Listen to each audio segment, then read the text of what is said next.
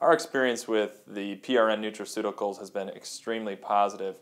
For the longest time, our group was very cautious in recommending omega 3 supplementation in the form of fish oil simply because there was a lot of bad product out there on the market.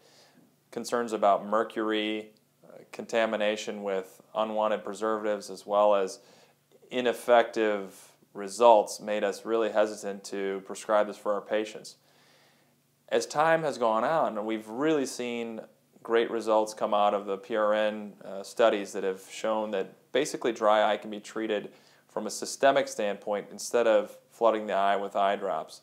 Of course, artificial tears and other topical anti-inflammatories have an important role, but we want to, whenever possible, get to the root of the problem. The most impressive thing about the PRN nutraceuticals for dry eye is that they have a real effect in um, minimal dosing, such that a small volume can have a big effect. That's probably due to the formulation that has made uh, this, this vitamin so effective. There's a triglyceride that is used instead of a ethyl ester, which is typically found in those that are bought over the counter. And the triglyceride form does not really require conversion by the body to reach an effect in its target site.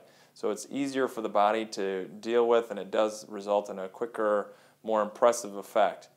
This has been studied, and I can remember the very first time that I heard about this was actually at one of our national eye meetings, and it was, it was a dramatic improvement over the study control omega 3 supplementation. In the time since we've been prescribing PRN, we've seen patients really improve and need less topical medication and over the counter artificial tears. I myself started taking it about four months ago, and what I've noted is a dramatic decrease in the need for taking Aleve or naproxen or ibuprofen, Motrin for my knees, which uh, tend to ache after I play tennis. So this is something that is not an imaginary effect. This is really resulting in what I believe is whole body uh, anti-inflammatory effect.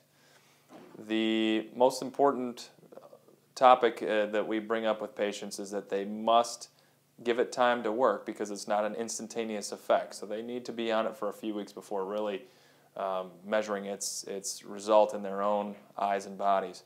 But this stuff actually is worth the money.